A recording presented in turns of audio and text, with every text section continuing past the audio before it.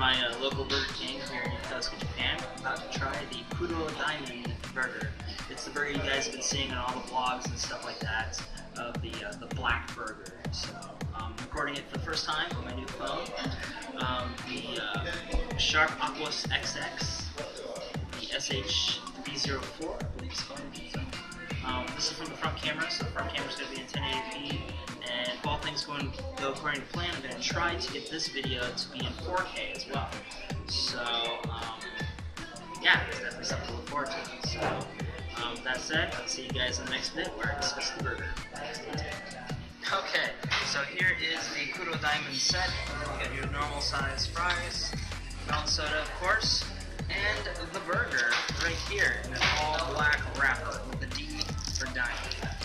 So, open this bad boy up. Take a look.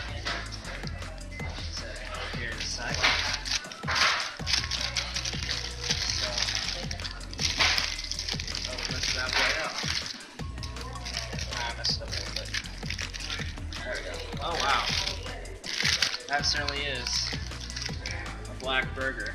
And I thought the bun was going to be like all hard and stuff. It's actually very squishy. So let's see what it looks like on the inside here. So as advertised, it does have, I can focus in on here, the little black slice of cheese, the little black uh, peppercorn, stuff like that, and just the normal Whopper ingredients. So that looks pretty cool.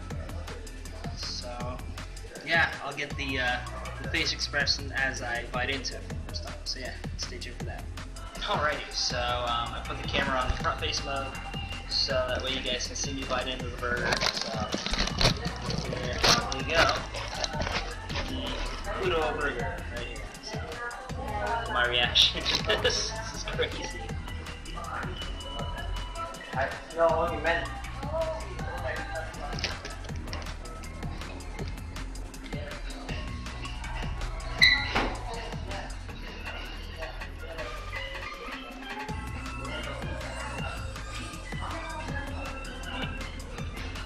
No, truth be told, it's actually not that bad.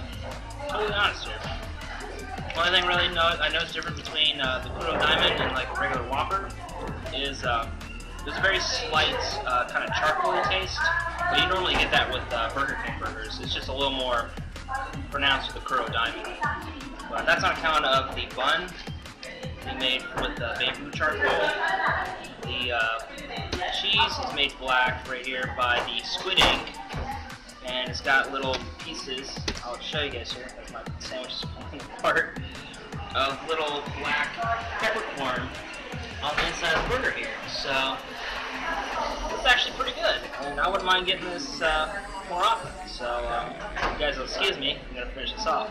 All right, so I guess uh, wraps up for this uh, really quick review of the Kuro Diamond from Burger King your local Burger King.